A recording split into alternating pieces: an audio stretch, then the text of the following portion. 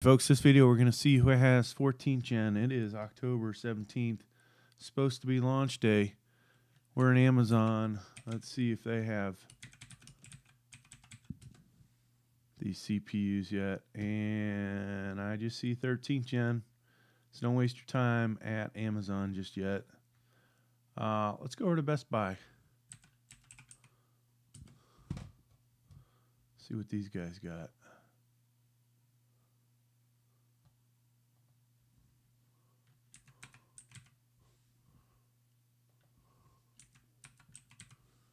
I can get this stupid thing to work. There we go.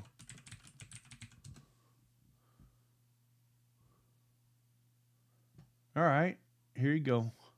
14 gen available at Best Buy. Not sure I like that price. That's uh, a lot more than I paid for my 13th gen or the 12th gen. Oh, look at the about a hundred and what five dollar difference. i7 14700K. So this, you know, obviously will close the gap between it and the uh, say the i9 13900K.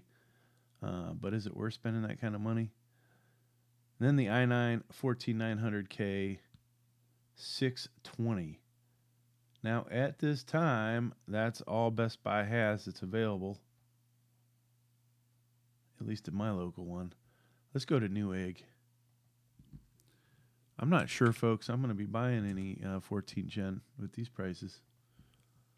I was going to go buy me a, a kick-ass gaming laptop, and I think, I think that is still on. which you know might be the might be bad for this channel, but hey. Um. All right, so was this more six twenty four? Yeah. Newegg a little higher on the on the i9 14900K. There's the i9 14900K FO. I'd love to have one of those. Um, I should have got rid of my i9 13900K, right?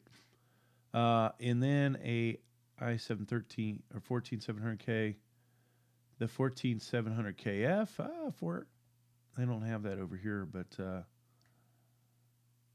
you know you would save obviously 30 bucks. And then over here, I do like this price, so you know maybe we'll get uh, the i5 14600KF in, and I'll still get my laptop.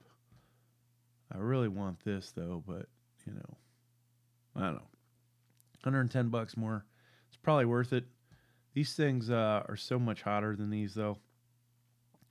Any of these up here, you're going to need a really good premium cooler, especially if you want to do benchmarks.